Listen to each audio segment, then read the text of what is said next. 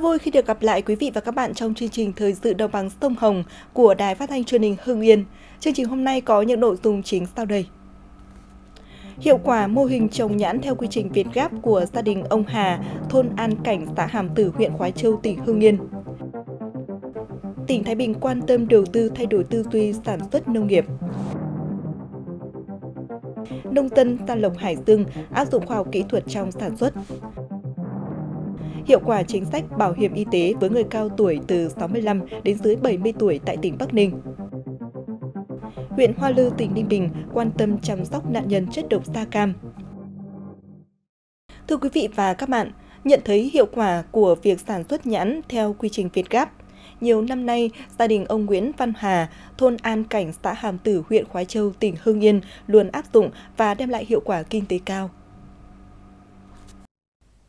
Gia đình ông Hà hiện đang trồng 6 mẫu nhãn với gần 1.000 cây. Những năm trước đây, gia đình ông sản xuất nhãn chủ yếu theo kinh nghiệm, chưa thực sự quan tâm đến vấn đề vệ sinh an toàn thực phẩm. Năm 2015, ông bắt đầu tham gia mô hình sản xuất nhãn theo quy trình Việt Gáp. Ông được tập huấn kỹ thuật áp dụng vào quy trình chăm sóc, nên nhãn luôn cho quả đạt chất lượng thơm ngon, mẫu mã đẹp, đảm bảo vệ sinh an toàn thực phẩm, được khách hàng ưa chuộng. So với nhãn trồng chăm sóc theo kinh nghiệm truyền thống, một mẫu nhãn sản xuất theo quy trình Việt Gáp cho năng suất quả cao hơn khoảng 500 kg, giá bán cao hơn nhãn quả chăm sóc theo phương pháp truyền thống từ 5 đến 7.000 đồng 1 kg. Chỉ tính riêng vụ này, gia đình ông ước thu được khoảng 60 tấn quả, trừ chi phí cho thu lãi khoảng 600 triệu đồng. Đã lâu lắm rồi chúng ta không được bắt gặp hình ảnh con trâu đi trước, cái cầy theo sau thay vào đó là những công nhân trên đồng tuồng. Đó là thành quả của phát triển sản xuất khi cơ giới hóa trong sản xuất nông nghiệp được tỉnh Thái Bình quan tâm đầu tư. Vào mùa vụ, nỗi lo thiếu lao động lại xảy ra. Bởi hiện nay, người trẻ đã đi làm công ty hoặc thoát ly khỏi địa phương. Tuy nhiên, với những người tích tụ trên 10 hecta chỉ để trồng lúa như anh Kiên, chị Lanh, thì nỗi lo đó đã được giải tỏa nhờ áp dụng phương thức mạ khay cấy máy không những cấy cho gia đình, họ còn cấy cho nhiều người khác. Nhà tôi có 20 hecta thì uh, tôi nếu mà thuê để cấy thủ công thì mất một tuần mà mất 10 nhân công. Còn nếu mà để áp dụng vào cái máy thì chắc chỉ khoảng 2 nhân công mà chỉ cấy trong vòng 3 ngày là xong. Khi nó vào được một vùng ấy thì mình đưa các máy móc vào thì cái uh, uh, chi phí của cái đầu vào ấy thì nó giảm đi và nó sẽ tăng lên được cái thu nhập. Từ năm 2008 đến nay, tỉnh Thái Bình đã hỗ trợ mua trên 2.200 máy các loại như máy gặt đập liên hợp, máy gặt giải hàng, máy làm đất, máy gieo đậu tương và 23 kho lạnh với tổng số tiền tỉnh hỗ trợ là 184 tỷ đồng. Đến nay, tỷ lệ cơ giới hóa, khâu làm đất và tưới tiêu đạt 100%, khâu thu hoạch đạt 80%. Việc đẩy mạnh cơ giới hóa đã làm giảm đáng kể giá thành sản xuất và giải quyết được tình trạng thiếu lao động vào thời điểm có tính mùa vụ cao, tạo quỹ đất cho sản xuất vụ hè thu và vụ đông. Bên cạnh đó, người nông dân đã áp dụng các biện pháp canh tác cải tiến và trồng trọt, chăn nuôi và nuôi trồng, đánh bắt thủy hải sản, mang lại giá trị kinh tế cao. Trong phong trào nông dân thi đua sản xuất kinh doanh giỏi trên địa bàn huyện Gia Lộc, tỉnh Hải Dương, những năm qua đã xuất hiện nhiều mô hình áp dụng khoa học kỹ thuật vào sản xuất, mang lại hiệu quả cao, trong đó bao gồm cả chăn nuôi và trồng trọt. Là người đầu tiên trong tỉnh lai tạo thành công giống gà trọi lai lương phượng, Trải qua bao khó khăn, giờ đây anh Phạm Đình Dừa ở xã Ít Kiêu, huyện Gia Lộc đã trở thành ông chủ trang trại cung cấp giống gà trọi lớn nhất của tỉnh với tiền lãi mỗi năm trên 2 tỷ đồng. Để có được thành quả như ngày hôm nay, anh Dừa đã phải dày công tự tìm tòi nghiên cứu, từ lai tạo con giống để có chất lượng tốt, đến nghiên cứu tự lắp ráp lò ấp có đủ tính năng phù hợp với điều kiện thời gian ấp trứng. Đến nay, sau 10 năm làm nghề, trang trại của anh luôn có gần 2 vạn con gà mẹ. Mỗi ngày trang trại cung cấp ra thị trường hàng nghìn con gà giống có chất lượng cao. Tất cả đều từ những kiến thức khoa học kỹ thuật do anh học hỏi mà có được. Từ các cái ờ, chương trình khoa học được uh, truyền thông rộng rãi trên các cái uh, kênh ví dụ như là internet hoặc là những cái giao cái cuộc giao lưu. Đấy mà các cái bên ờ, khoa học bên bên uh, uh, cơ quan chức năng tổ chức gặp gỡ nhau trao đổi những cái bình thường có khi rất đơn giản thôi nhưng mà có khi lại lại là một cái vận dụng rất hay.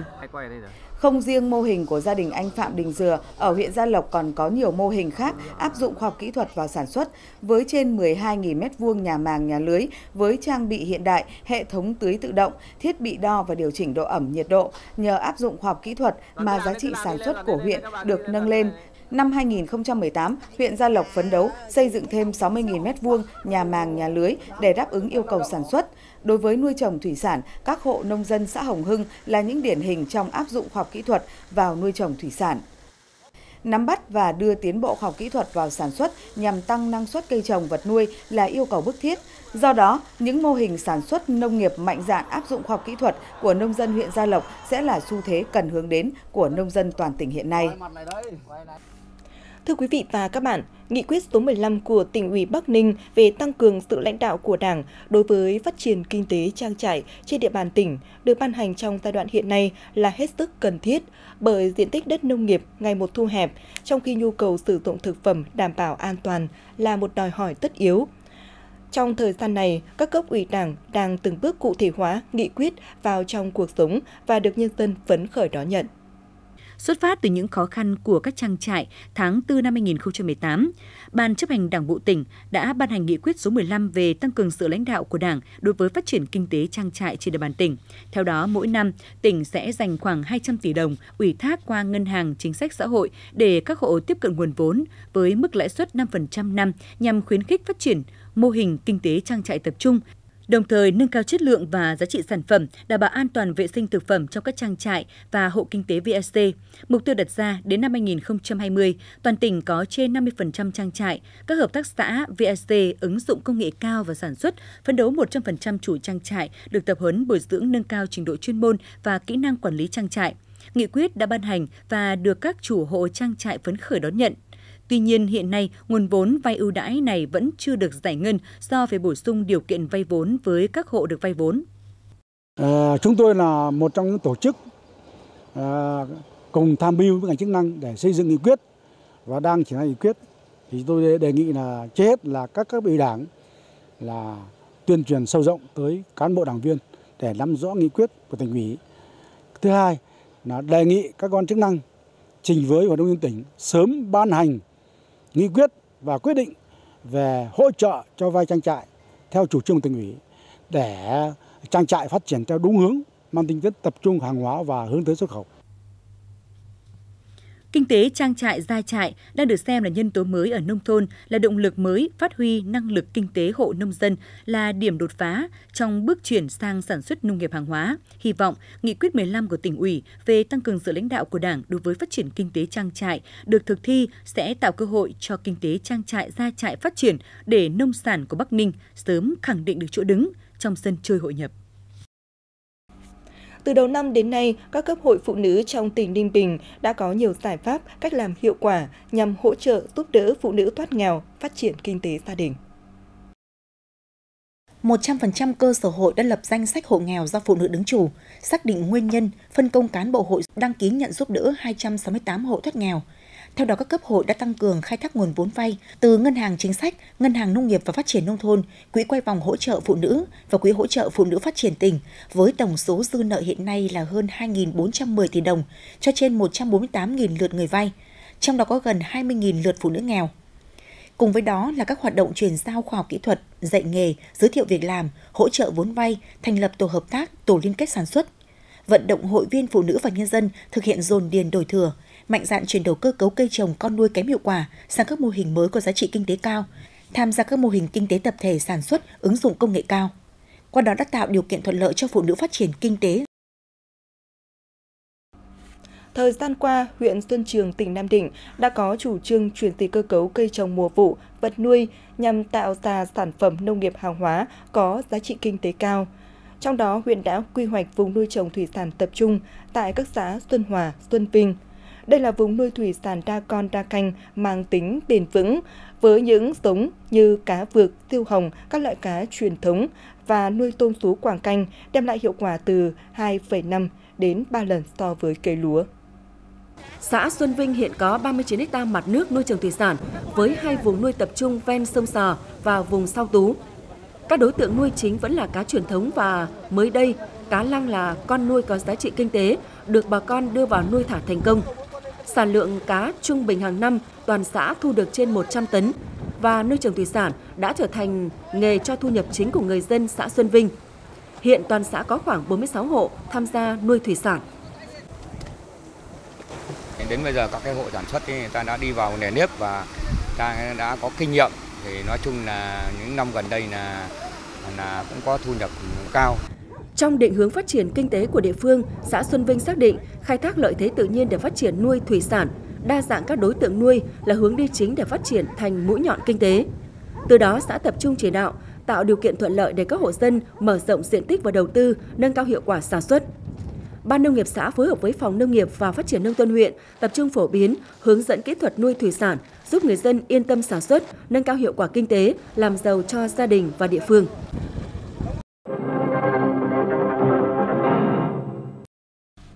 Thưa quý vị và các bạn, năm 2017, Hội đồng Nhân dân tỉnh Bắc Ninh đã ban hành nghị quyết số 66 về việc hỗ trợ kinh phí tham gia bảo hiểm y tế đối với người cao tuổi. Theo đó, bắt đầu từ ngày 1 tháng 8 năm 2017, tỉnh sẽ hỗ trợ 100% kinh phí tham gia bảo hiểm y tế đối với người từ đủ 65 tuổi đến dưới 70 tuổi chưa được cấp thẻ bảo hiểm y tế, theo các đối tượng khác, có hộ khẩu thường trú và đang sinh sống tại Bắc Ninh. Đây thực sự là chính sách có ý nghĩa nhân văn sâu sắc, tạo được niềm tin và sự đồng tình ủng hộ của mọi tầng lớp nhân dân. Ghi nhận của phóng viên Đài Phát thanh Truyền hình Bắc Ninh sau một năm nghị quyết đi vào cuộc sống. Nghị quyết số 66-2017 của Hội đồng Nhân dân tỉnh quy định về việc hỗ trợ 100% kinh phí tham gia bảo hiểm y tế đối với người cao tuổi từ 65 đến dưới 70 tuổi chưa được cấp thẻ bảo hiểm y tế, có hộ khẩu thường trú và đang sinh sống trên địa bàn tỉnh Bắc Ninh. Theo đó, năm 2017, trích từ nguồn 20% kinh phí dành cho khám chữa bệnh của tỉnh chưa sử dụng hết năm 2015 từ năm 2018 sẽ trích từ nguồn ngân sách tỉnh. Như vậy, Bắc Ninh tiếp tục là địa phương đi đầu cả nước về chính sách đối với người cao tuổi. Ngoài việc được cấp miễn phí thẻ bảo hiểm y tế hàng năm, người từ 70 tuổi trở lên cũng được trợ cấp số tiền hàng tháng với tỷ lệ tăng dần mỗi 5 năm và tính đến thời điểm này đã có 11.375 người có từ 65 đến dưới 70 tuổi và gần 26.000 người từ 65 đến 80 tuổi được cấp thẻ bảo hiểm y tế, nâng tỷ lệ bao phủ thẻ bảo hiểm y tế toàn dân của tỉnh lên trên 95%, cao hơn so với bình quân chung của cả nước 9%. Cơ quan bảo hiểm xã hội tỉnh đã phối hợp với Sở Lao động Thương minh Xã hội và tiếp tục gọi là uh, tuyên truyền đẩy mạnh cái chính sách để mọi người dân hiểu được chính sách bảo hiểm y tế cũng như là chính sách hỗ trợ của tỉnh Bắc Ninh và chỉ đạo các phòng lao động thương binh xã hội để hàng tháng phải lập được cái danh sách những người đủ 65 tuổi trở lên để truyền cho cơ quan bảo hiểm xã hội. Và cơ quan bảo hiểm xã hội cấp huyện phải thực hiện cái việc in thẻ bảo hiểm y tế đảm bảo kịp thời để người cao tuổi từ 65 tuổi trở lên đảm bảo đi khám chữa bệnh được kịp thời và đúng chế độ chính sách.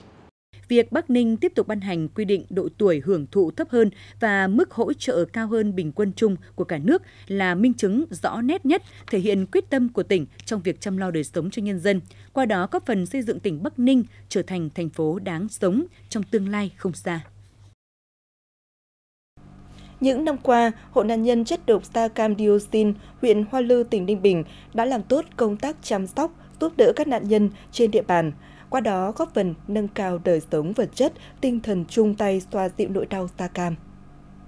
Hiện nay, toàn huyện có hơn 500 nạn nhân phơi nhiễm chất độc da cam, hầu hết là thương binh, bệnh binh, cựu chiến binh và có hoàn cảnh kinh tế khó khăn, sức khỏe yếu. Để động viên, chia sẻ khó khăn với những nạn nhân, Hội cùng với các cấp, các ngành trên địa bàn huyện đã có nhiều hoạt động thăm hỏi, tặng hàng nghìn phần quà có ý nghĩa thiết thực như xe lăn, đồ dùng gia đình, ủng hộ tiền xây dựng nhà tình nghĩa, trao học bổng cho con em các nạn nhân có hoàn cảnh đặc biệt khó khăn, vươn lên trong học tập. Bên cạnh đó, hội cũng chú trọng phối hợp với ngành lao động thương binh và xã hội, các ban ngành liên quan tư vấn, hướng dẫn cho các đối tượng có đủ điều kiện làm hồ sơ xét duyệt được hưởng chế độ hàng tháng. Để công tác chăm sóc giúp đỡ nạn nhân chất độc da cam dioxin đạt hiệu quả và thiết thực hơn, thời gian tới, Hội nạn nhân chất độc da cam dioxin huyện tiếp tục đẩy mạnh tuyên truyền, tăng cường công tác phối hợp để vận động kêu gọi các cơ quan, tổ chức, doanh nghiệp, các nhà hảo tâm trong và ngoài tỉnh ủng hộ xây dựng quỹ hỗ trợ nạn nhân chất độc da cam dioxin, cùng nhau chung tay xoa dịu nỗi đau, giúp nạn nhân da cam ổn định cuộc sống. Hội nạn nhân chất độc da cam dioxin tỉnh Hà Nam phối hợp với Hội nữ doanh nhân tỉnh tổ chức lễ động thổ xây dựng nhà tình nghĩa cho gia đình ông Phạm Văn Phúc ở tổ dân số Đọ Sa, phường Thanh Châu, thành phố Phủ Lý. Ông Phạm Văn Phúc là nạn nhân bị nhiễm chất độc da cam có 4 người con, nhưng người thì mắc bệnh hiểm nghèo, sức khỏe yếu, người thì mất trí. Hầu như tháng nào gia đình ông cũng phải đưa các con đi viện, cuộc sống rất khó khăn. Cả gia đình ông phải sống trong ngôi nhà chật trội, ẩm thấp, rột nát, thuộc diện phải tháo rỡ do nằm dưới đường điện cao thế. Ngôi nhà mới sẽ có diện tích 58 m2 được khởi công xây dựng trong khuôn viên vườn của gia đình ông Phúc. Số kinh phí được các hội viên Hội nữ doanh nhân tỉnh Hà Nam quyên góp ủng hộ và kêu gọi vận động là 170 triệu đồng. Đây là hoạt động mang ý nghĩa nhân văn sâu sắc, thể hiện nghĩa tình, tinh thần tương thân tương ái của Hội nữ doanh nhân tỉnh Hà Nam đối với những gia đình nạn nhân chất độc da cam dioxin, giúp họ thêm nghị lực vượt lên bệnh tật và khó khăn, yên tâm ổn định cuộc sống. Mới đây, Sở Lao động Thương binh và Xã hội tỉnh Bắc Ninh phối hợp với công ty trách nhiệm hữu hạn Samsung Electronics Việt Nam tổ chức trao tặng xe lăn cho trẻ em và người khuyết tật. 100 trẻ em là người khuyết tật thuộc 8 huyện thị xã, thành phố trong tỉnh Bắc Ninh được trao tặng xe lăn và quà do công ty trách nhiệm hữu hạn Samsung Electronics Việt Nam tài trợ. Chương trình trao tặng xe lăn cho trẻ em, người khuyết tật được Sở Lao động Thương binh và Xã hội phối hợp với công ty thực hiện liên tiếp trong 9 năm, đến nay đã trao tặng được 780 xe lăn trong toàn tỉnh với tổng kinh phí hàng tỷ đồng. Đây là hoạt động ý nghĩa có phần trợ giúp cho trẻ em và người khuyết tật vơi bớt khó khăn trong sinh hoạt, vươn lên trong cuộc sống và hòa nhập tốt hơn với cộng đồng. Bên cạnh đó, hàng năm, đơn vị cũng tích cực tham gia các hoạt động an sinh xã hội tại Bắc Ninh với tổng kinh phí hơn 1,4 tỷ đồng. Nhân dịp này, Quỹ bảo trợ trẻ em tỉnh có những xuất quà ý nghĩa dành tặng cho trẻ em tham dự chương trình. Sở Khoa học và Công nghệ tỉnh Hải Dương vừa nghiệm thu đề tài nghiên cứu và biên soạn từ điển tác giả tác phẩm văn học Hải Dương. Đề tài do Trường Cao đẳng Hải Dương thực hiện năm 2017. Đề tài nghiên cứu và biên soạn từ điển tác giả tác phẩm văn học Hải Dương là một hướng nghiên cứu mới, cung cấp tài liệu tham khảo phong phú và khoa học, chính xác cho giáo viên, học sinh và các nhà nghiên cứu văn học, góp phần nâng cao văn hóa đọc và chất lượng giảng dạy môn học ngữ văn ở cấp trung học cơ sở trên địa bàn tỉnh, đồng thời thực hiện mục tiêu đổi mới phương pháp dạy học ngữ văn địa phương và hoạt động trải nghiệm sáng tạo của ngành giáo dục tỉnh Hải Dương. Kết quả của đề tài là giải pháp khắc phục tình trạng thiếu ngữ liệu và các thông tin cần thiết để thực hiện hiện dạy học chương trình địa phương của môn ngữ văn hiện nay trong các trường trung học cơ sở trên địa bàn tỉnh. Tận dụng lợi thế địa phương, những năm qua, huyện đoàn Văn Lâm tỉnh Hưng Yên thường xuyên tạo sân chơi cho các em thiếu nhi nhờ nguồn xã hội hóa từ người dân và các doanh nghiệp trên địa bàn. Nửa đầu năm 2018, điểm sáng trong 11 xã thị trấn thuộc huyện Văn Lâm là thị trấn Như Quỳnh đã xã hội hóa được 110 triệu đồng, xã Lạc Đạo gần 50 triệu đồng, xã Lương Tài gần 20 triệu đồng. Với nhiều cách xã hội hóa hiệu quả, các tri đoàn đã vận động người dân ủng hộ thông qua các hòm quyên góp trong các buổi sinh hoạt hè. Với số tiền từ 20 đến 50 nghìn đồng, rất nhiều người dân của thị trấn Như Quỳnh đã đóng góp tiền để hỗ trợ các em thiếu nhi mua trống và các đạo cụ phục vụ công tác đoàn. Bên cạnh đó, tận dụng lợi thế địa bàn có nhiều doanh nghiệp và cá nhân có tiềm lực kinh tế, các tri đoàn đã tích cực xã hội hóa các sân chơi cho các em và nhận được nhiều sự ủng hộ cao từ các doanh nghiệp như công ty Phương Anh, công ty 319 hay công ty vab công ty Việt Hưng. Đây được coi là cách làm hiệu quả để duy trì các hoạt động đoàn, tạo sân chơi bổ ích cho các em thiếu nhi trên địa bàn huyện. Trung tâm Văn hóa tỉnh Hà Nam tổ chức bế mạc các lớp nghệ thuật hè năm 2018. Tại lễ bế giảng, gần 20 tiết mục ca mối nhạc khiêu vũ, nhảy dân gian, nhảy hiện đại được các em thanh thiếu nhi của lớp nghệ thuật hè biểu diễn một cách tự tin và sôi nổi. Đây chính là thành quả mà các em đã được các giảng viên ở 6 bộ môn thanh nhạc, nhạc cụ, sân khấu, khiêu vũ, múa, MC tận tình hướng dẫn, rèn luyện trong 2 tháng qua. Lớp nghệ thuật hè là sân chơi bổ ích giúp các em thanh thiếu nhi tỉnh Hà Nam được vui chơi, học tập, bồi dưỡng các kiến thức, kỹ năng về nghệ thuật. từ đó phát huy năng khiếu sở thích của mình. Đồng thời, đây cũng là nơi để ươm mầm các tài năng trẻ, phát hiện các nhân tố có triển vọng để bồi dưỡng đưa các em phát triển trên con đường nghệ thuật chuyên nghiệp. Đồng hành cùng phong trào xây dựng nông thôn mới, Hội Phụ nữ xã Nghĩa Hiệp, huyện Yên Mỹ, tỉnh Hưng Yên đã xã hội hóa được hơn 100 thùng đựng rác, góp phần giữ gìn vệ sinh trong khu dân cư. Từ năm 2015, ngay sau khi các tuyến đường giao thông ở thôn xóm được thi công, Hội Phụ nữ xã Nghĩa Hiệp đã tổ chức nhiều cuộc họp vận động thành công 900 hội viên tham gia đóng góp, mua thùng đựng rác đặt tại đầu các đường làng ngõ xóm. Nhờ vậy, đã có hơn 100 thùng đựng rác, mỗi thùng trị giá 100.000 đồng. Vào mỗi buổi chiều, các hội viên đều quét dọn và thực hiện tổng vệ sinh trong các ngày lễ Tết. Rác thải vô cơ cũng được các hội viên phân loại và bỏ riêng vào thùng rác từ việc làm thiết thực của Hội Phụ Nữ xã đã góp phần nâng cao ý thức giữ gìn vệ sinh của mỗi người dân, cảnh quan nông thôn mới ngày càng phong quang, sạch đẹp. Quý vị và các bạn thân mến, tới đây chúng tôi xin được kết thúc chương trình Thời sự đồng bằng sông Hồng của Đài Phát thanh truyền hình Hưng Yên. Cảm ơn quý vị và các bạn đã dành thời gian theo dõi. Xin thân ái chào tạm biệt.